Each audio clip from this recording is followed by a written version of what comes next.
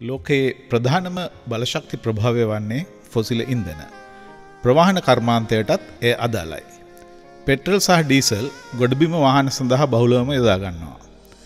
Diesel භූමිතෙල් සහ බැරතෙල් මුහුදු යාත්‍රා සඳහා යොදාගෙනෙනවා. ඉන්දන දහනයෙන් ලැබෙන ශක්තිය වාහනය ගමන් කිරීමට ඉවහල් වන අතරම විවිධ වායු මිශ්‍රණයක් ජලවාශ්ප කාබර්නාංශු ශබ්දය සහ තාපය පරිසරයට මුදහැරෙනවා. බොහෝ එන්ජින් වල ඉන්දන දහනය සිදුවන්නේ අර්ධ වශයෙන්.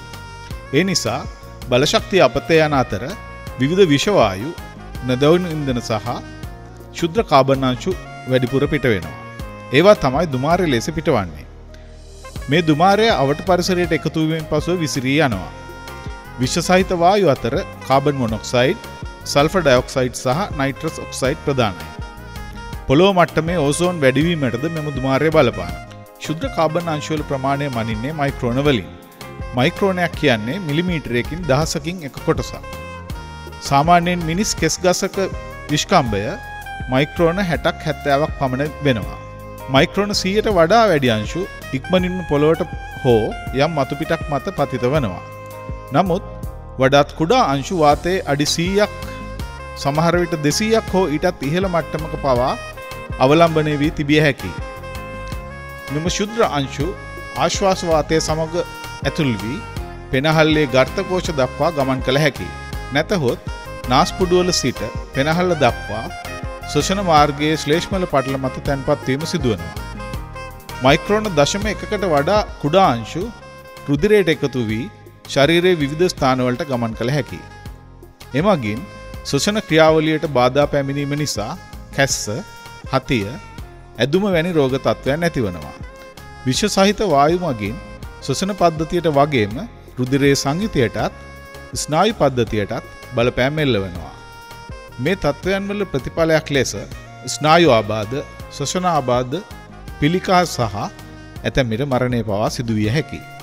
රථවාහන හසුරුවන පොලිස් නිලධාරීන් පදික වෙලෙන්දාන් පදිකයින් සහ විවෘත කුඩා වාහනවල ගමන් ගන්නා අයට මෙම තර්ජනය වැඩි වශයෙන් තිබෙනවා. අධික වාහන තදබදය තිබෙන උස් ගොඩනැගිලි සහිත පටු මාර්ගවල වායුදූෂණය ඉතා ඉහලයි. දුමාරය බලපාන්නේ මිනිසුන්ට සතුන්ට පමණක් නොවෙයි. නගරයේ මහාමාර්ගවල පාලම් මාර්ග සංඥා ආරක්ෂක වැටවල් ලෝහමේ ඉදිකිරීම් සහ මාර්ග දෙපස ගොඩනැගිලි ආදිය නඩත්තු කිරීමද අපහසු වී ඇත්තේ මේ දුමාරය නිසයි. වාහන් නඩත්තුවටද මේ බලපානවා.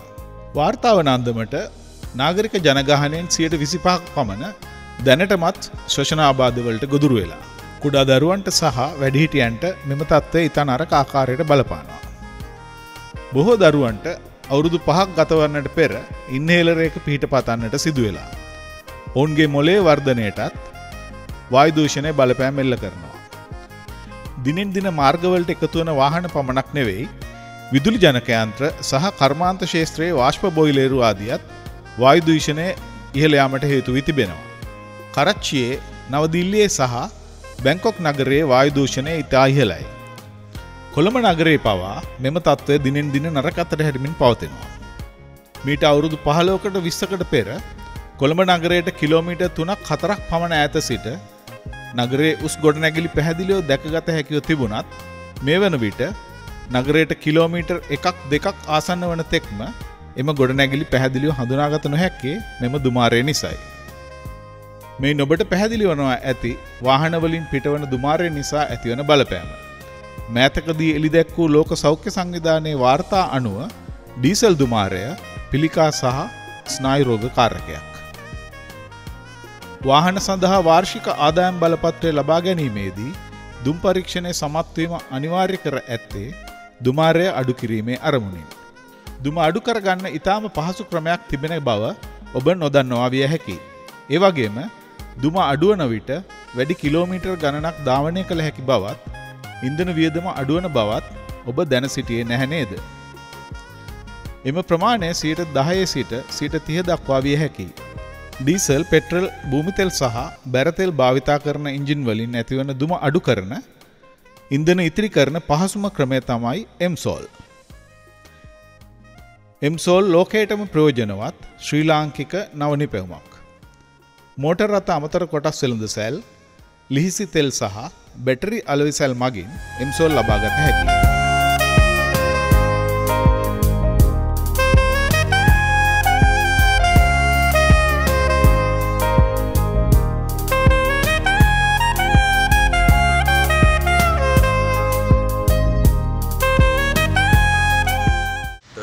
ටොයෝටා ඇවන්සා බ්‍රෑන්ඩ් නිව් වාහනයක් මම පාවිච්චි කරන්නේ.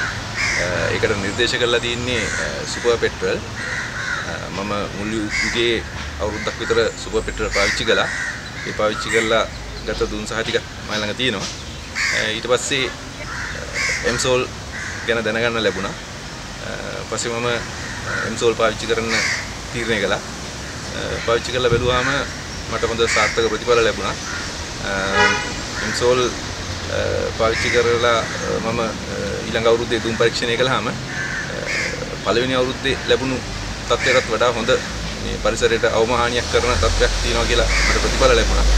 ඉතින් ඇත්තම මම ඒ ගැන ආඩම්බර වෙනවා මට පරිසරයට අවම හානියක් ඇත්තම කාබන් මොනොක්සයිඩ් පරිසරයට එක්කව කරන්නේ නැතුවම මට වාහනේ දුවන්න පුළුවන් වීම. ඒ වගේම එම්සෝල් පාවිච්චියෙන් මට ආර්ථිකමය වශයෙන් උත් ලාභයක් තියෙනවා. මොකද මේ මම දැන් ඔක්ටේන් 92 පෙට්‍රල් එක නෝමල් පෙට්‍රල් එක පාවිච්චි කරන්නේ. නමුත් දුම් පරීක්ෂණය කරුවාම අර සුපර් පෙට්‍රල් වලින් ලැබුණු ප්‍රතිඵලයටත් වඩා හොඳ ප්‍රතිඵලයක්. කාබන් මොනොක්සයිඩ් 0 කියන ප්‍රතිඵලය ලැබුණා.